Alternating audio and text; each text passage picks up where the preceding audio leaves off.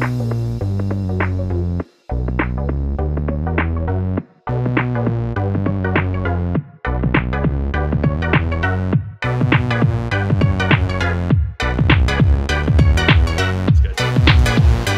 guys and girls. Today we're going to be talking about a very interesting and quite a common species actually. It's probably in terms of flatfish, if we take out the, the diamond smashes, you're probably looking at the most common flatfish caught, at least on our KZN coast. Um, so we're obviously talking about the brown skate. Now the brown skate scientific name is Himantura gerrardi. Now obviously named after Gerardi. Uh, we'll get into the rest of it later. Um, other common names for them, sharp nose brown, um, some when they when they're smaller size the guys call them soup plates but brown skate is a general it's actually we were lucky with this one of the the species that's name is or common name at least is used universally across now in terms of the actual distribution uh, scientifically the distribution across the world is not very well understood. It's not very well defined. So you get these sort of vague reports. Uh, but in South Africa at least you're looking Eastern Cape up into Mozambique with the real sort of prominence being from uh, central KZN all the way up to, to the uh, southern Mozambique is really where you're going to be finding them. Um, in terms of how they look, now as the name prescribes it's a very very simple brown skate um, and the other common name sharp nose brown sort of alludes to that uh, the, another feature. You've got a normal stingray shape so flat sort of flattened um, also ventrally flattened animal.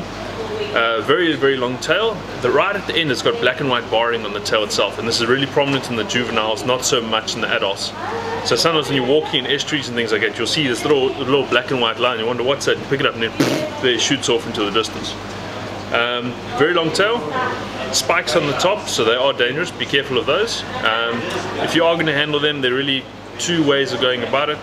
The one is if you're on sand, you can gently step on the tail just to keep it in place, um, but obviously far away from the barb.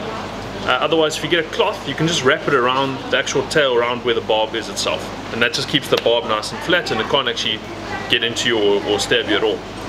Um, browns are fairly placid, so you don't really have to worry, it's not a blue skate, about it actually actively trying to hurt you. Um, so yeah, that's it's not really too much of a concern, but just be careful when you are out there.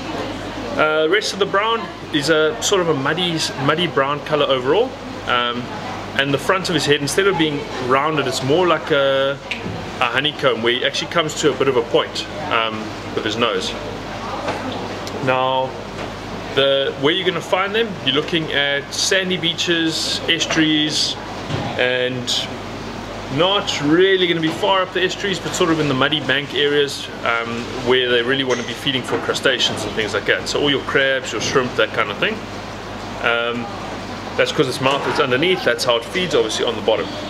Now in terms of baits and things for that or uh, at least let's, let's do maximum size first.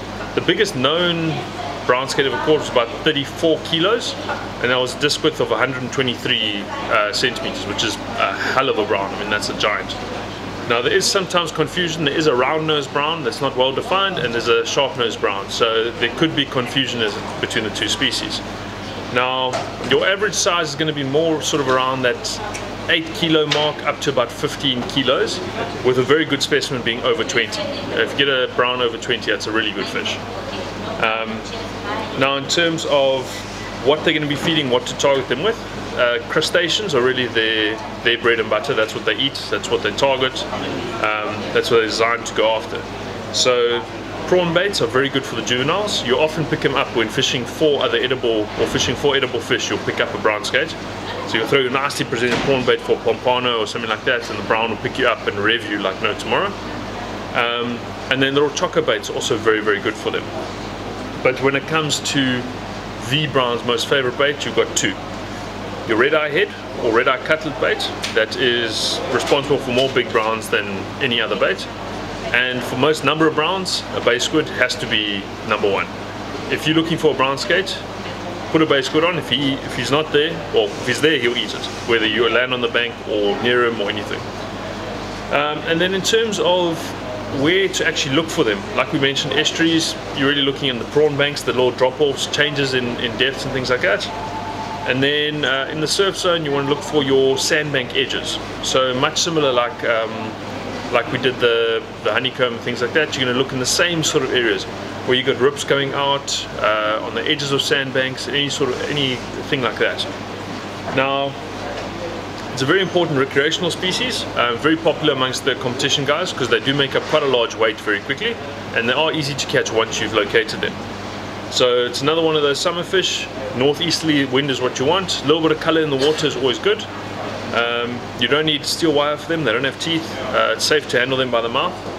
And in terms of the tackle itself, uh, watch the video on the 3 to 5 ounce uh, Saltist grinder rod. That is literally the perfect stick for them, it's designed for them. So yeah guys, the brown skate. Very nice fish, uh, very easy one to catch, nice one to get started into your inedible side of things.